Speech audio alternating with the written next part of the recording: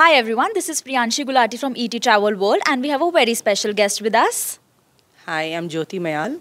I'm the president of the Travel Agents Association of India. I'm also the chairperson for Tourism and Hospitality Skill Council and I'm also the vice chair of FAITH.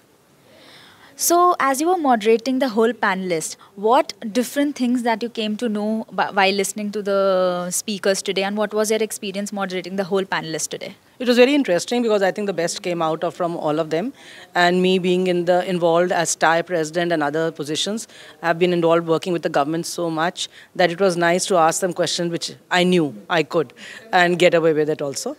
So it was nice to uh, see that, and they answered very candidly, which was the best part. And all of them actually are the young ones who are really, you know, emerging into the tourism sector with the absolutely real spontaneity and you know drive and motivation. So i see a great future where these states are concerned because and the center of course with manisha herself there.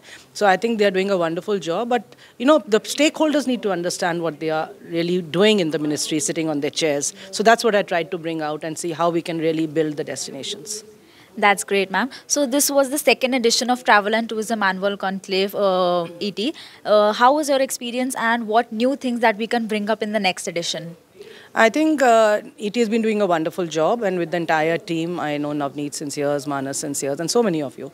So I think it's a, it's been a beautiful experience for me itself that we have a very close relationship with ET. It has like always been in a great comfort level to talk to ET and give their news and everything about them. And you've always been a part of our growth.